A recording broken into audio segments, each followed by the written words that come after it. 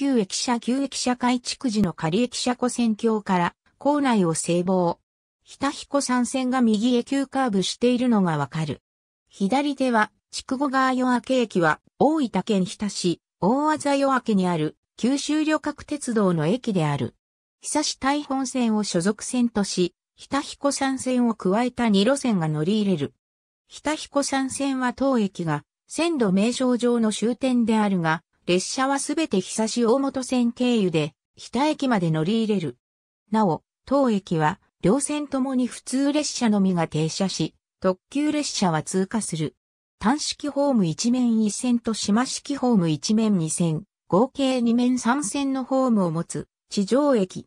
古い木造駅舎が残っていたが、2010年4月18日に新たな木造駅舎が落成した。現在は完全な無人駅となっている。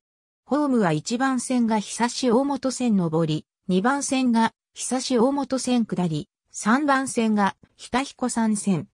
1965年度には乗車自民が13万4596人、降車自民が13万3947人で手荷物や小荷物も取り扱っていた。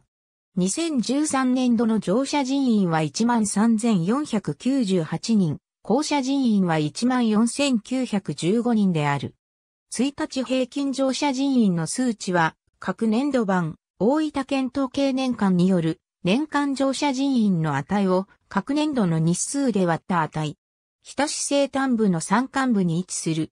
駅前を国道386号及び筑後川が久し、大本線に並行する形で通っており、筑後川を挟んだ対岸には国道210号が通る。また当駅の約300メートル北西から国道211号と大氷川が北彦山線に並行する形で通っている。駅付近は崖が連続している。駅名は当駅開設当時に存在した日田郡、夜明け村に、日田市に編入にちなむ。夜明けの地名は焼きは高い根地であることから最初は夜焼きと付けられたが、焼けの発音を嫌って夜開け、夜明けの順で改め字されたことによる。ありがとうございます。